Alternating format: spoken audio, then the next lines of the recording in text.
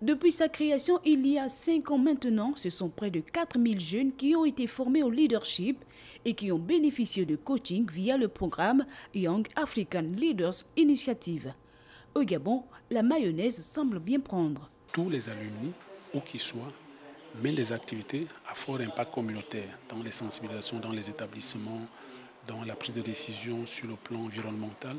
Et surtout, nous avions mis en place un programme de formation qu'on a appelé le Molibi, qui donne les outils aux jeunes sur le plan de l'entrepreneuriat, sur le plan de la gestion de la chose publique et sur le plan de la citoyenneté, après avoir reçu les outils du IALI.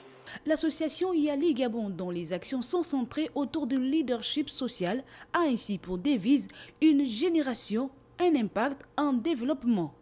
La particularité de chacun des membres étant d'avoir déjà participé au programme de formation antérieure, qu'il s'agisse de la formation mandarin, au Karen à Dakar ou des formations en ligne. À travers des actions qu'ils mènent euh, sur le terrain, ils font l'effort d'impacter. Il est important que nous puissions faire en sorte que ces initiatives euh, puissent se démultiplier euh, dans les pays afin que plus de leaders soient formés, afin que nous ayons une masse critique importante pour euh, transformer euh, significativement notre continent.